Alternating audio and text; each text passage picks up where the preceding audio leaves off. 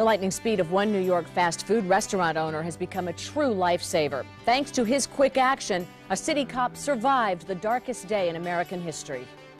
These two seem like long lost friends. You caught me off guard. But in fact, they were brought together under the worst of circumstances on the darkest of days. The day had a surreal beginning. The World Trade Center towers, just four blocks from Lloyd Frazier's McDonald's store, were ablaze. The fire came up this way because they're from the south. I, I, knew there was serious trouble. After clearing out most of his employees, the towers began to collapse. And there's this horrible sound that the building makes before it comes down. It sounds just like a jet taking off. People ran screaming. The sky, it seemed, was falling. Frazier went out for a look and quickly realized his mistake. Down it came. And it, this, this avalanche of ash and smoke was coming up the street and we made it inside. But outside, with nowhere to hide, was police officer Daniel McFadden. I see it coming over the top of the building, and that, but he can't see it, and so I yelled to him, get over here, get over here now. I heard someone say, it's falling, run.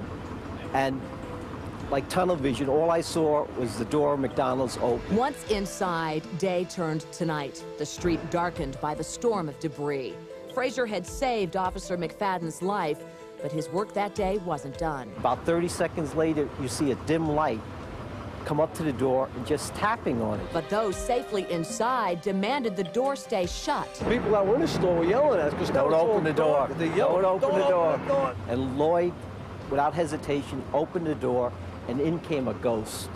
This was a ghost of a fireman. And then, within hours, Frazier got two McDonald's mobile units into the area to feed the rescue workers. Over 500,000 served. And I had a firefighter actually say to me, he said to me, goes, you're my hero. I was like, oh, no, buddy. I go, you're the hero. And Frazier's store became Hotel McDonald's for dozens of rescue officers who sought a few hours to doze. Lloyd Frazier's become a hero to many at Ground Zero, especially to McFadden. You can thank me all you Save want, me pal. and another fireman. The heroes are down there in that horror. I just help some people out in a tough spot. That's what I do. I'm Nile Rodgers from the MP3 Dance Club. Yo, you're watching Tech TV. Digital has changed everything. People don't just play music. They don't just play the music back. They actually play with the music. Now, dig this. The cool thing about the Nile Rodgers MP3 Dance Club is that it gives back-end users really what they want, which is cool music at a really low price and a bunch of fun applications. At the heart of the system is the PC DJ. PC DJ, what it's all about, is basically just think of it as virtual turntables. This now becomes your CD player, your video player, your turntables, your mixer, everything in one package that comes right on the CD. So now you get 12 hot cuts, and then you get the instrumentals and the acapellas, the vocal stems, the instrumental stems, all of that kind of stuff that you can mix together, flip, cut, beat, match, scratch, hip hop, do anything you want with it for the low, low price of zero. You get your own broadcaster, which allows you to save your DJ sets, your own unique moves that's just your own. And then you can broadcast it over the internet, your own personal radio station. You can even plug in a mic and go, yo, yo, yo, this is DJ Tony, whatever. And yeah, man, I'm the man, and listen to my mix of songs. I mean, you can do all of that. Bang. When DJs are spinning, they'll put the records that they're going to play next, they'll pull them out and have them sitting up in their record case so that they can remember, okay, great, when this record finishes, I'm gonna go to this and I'm gonna go to that. So we knew that having 2,000 records in your case, how could you get to it quickly? How are you to memorize it? So the PC DJ, you can organize your records by beats per minute, by titles, by artists. You can make any kind of subgroups that you want to make and put them in your case and have them preview ready to go. Check this out. A kid sent me an email. He was doing a rave. He was playing a rave in his dorm up in Chicago. Somebody tripped the fire alarm while everybody was spinning and partying. And this kid said, hmm, let me search and look for every song that has the word burn, fire, hot, matches, or whatever. Within 10 seconds, he was spinning, burning down the house. They thought that he had pulled a fire alarm because he was so on top of it. Today's world is very exciting. I mean, it's, it's the possibilities are endless. Hey, I'm Nile Rodgers from the MP3 Dance Club. I'm out of here. Maybe you don't recognize this 1980s rock star now, but you definitely know his music. As Jerry Penacoli reports, he's got a new sound for the new millennium. This was pop star Peter Gabriel back in those freewheeling, fun loving 80s when he and his high concept videos like Sledgehammer were pounding away on MTV.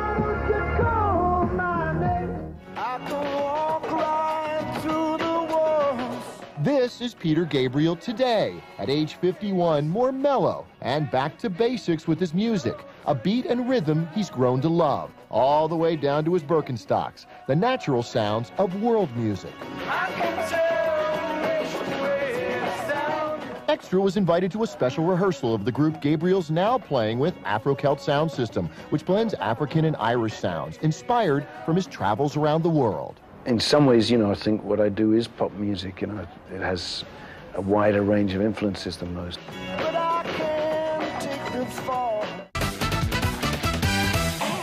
Losing weight's never easy, especially if you're not using the right meal plan. But John Kelly found one to diet for. You've tried the diet, followed the gurus, taken the miracle drugs, and you're still not as svelte or happy as you'd like. I also tried the cabbage soup diets, the weekend diets, and, and all those kinds of things for weight loss. Mercedes Ellington is a New York-based choreographer and granddaughter of famed band leader Duke Ellington.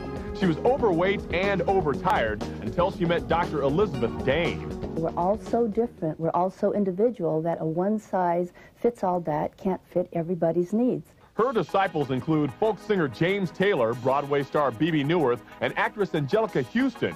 Now in her new book, Your Body, Your Diet, Dr. Dane says weight loss and good health are easy once you determine your metatype. Metatype is a word I've coined that describes six basic energetic patterns based on the energy flows within an individual's body. The book has this questionnaire to help determine your metatype. Based on that, there are diet plans to fit your profile. And Dane says the way you eat is as important as what you eat. One doesn't mix grains and meat, and one eats fruit mm, half an hour, 15 minutes before or after a meal. I was dealing with um, some insomnia at some points, lower back pain. I was dealing with irregularity. Once Dane typed Ellington, she eliminated tomatoes, dairy, and eggplant from her diet. She also customized a vitamin regimen and encouraged yoga and meditation. It's been about five years now that I've been with her, and um, it's, it's really amazing the progress that I've made. They think I'm very magical. Once those yo-yo dieters get on their own individualized Metatype plan, their pounds will be gone and they'll maintain their weight for life. And that's no magic trick. For more information on how to find your Metatype, go to Extra Online. We're at extratv.com.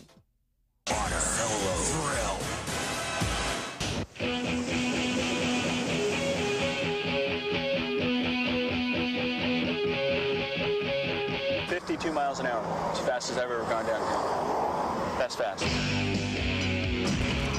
Speed to me is scary, fun, exhilarating, and it's necessary The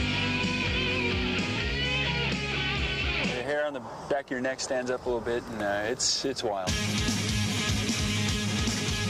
Coasting and, and attaining top speed and achieving an aerodynamic position is an art all in itself. It's something completely separate from the fitness of our sport.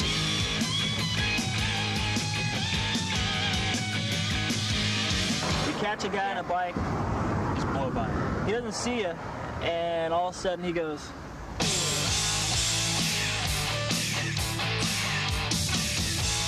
What the sport means to us because of the disability is it's a complete, synthesized, simplified version of life. It's just you, the chair, and how fast can you go.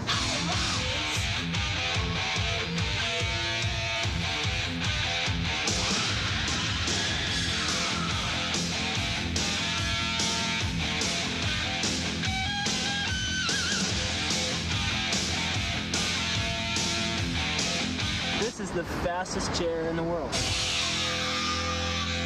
I wheel like 15 to 25 a day, six days a week usually. Lift three days a week. Speed work, long, slow distance stuff, and a lot of hill work.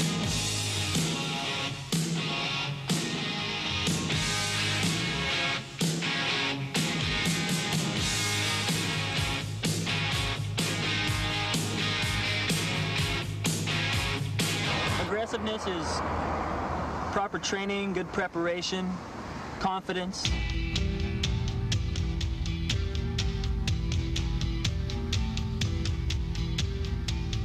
the end of the race, the most important thing is to realize the guy that, that wins the race is not the guy that's the fastest, it's the guy that slows down the least.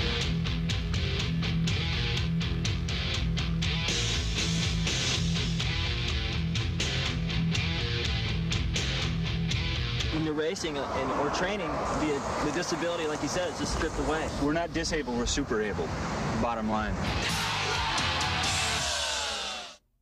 David Blaine did it. The street magician pulled off yet another wild stunt, and we were there for the footage from his moment of impact. Three, two, one, stick it!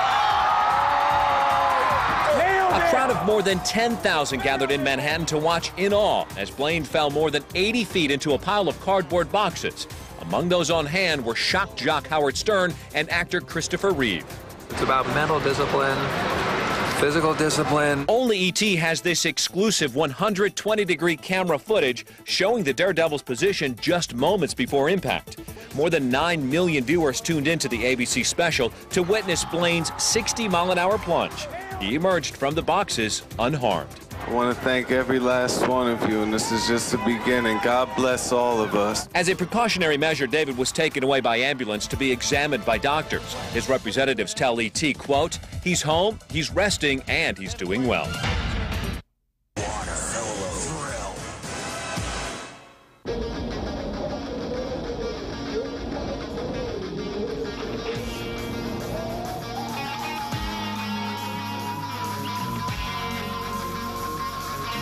Fastest um, thing on the ocean, right? I was a man that only used to surf. And then I saw these longboards and fellas having a lot of fun on these longboards. When I saw that, I am a fellow that loves freedom. So I went to windsurfing. I'm a professional windsurfer. I windsurf on the professional circuit.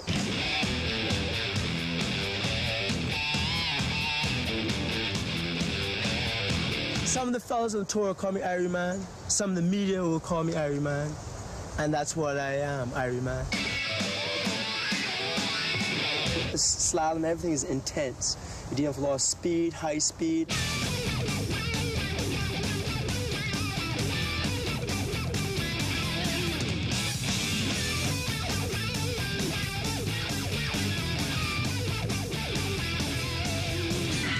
Taking in every chop, every wind shift. You have to be on. The slightest mistake, you're down.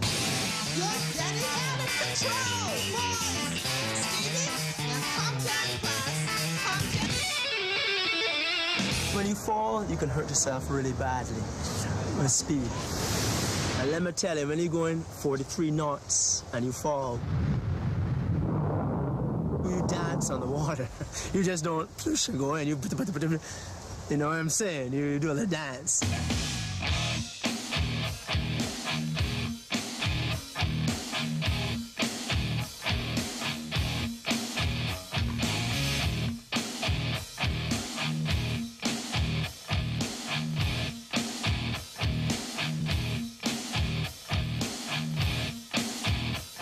You're going 30 knots.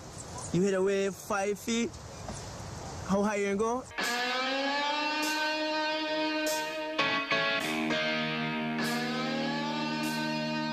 You feel weightless. You feel as if you're in the clouds with the birds.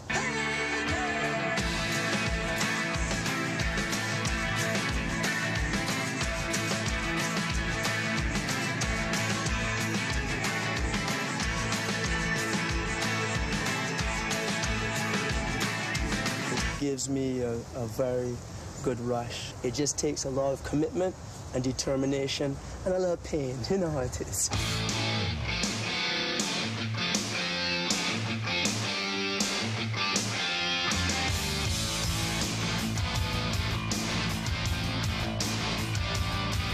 Because if you don't have no pain, there's no glories.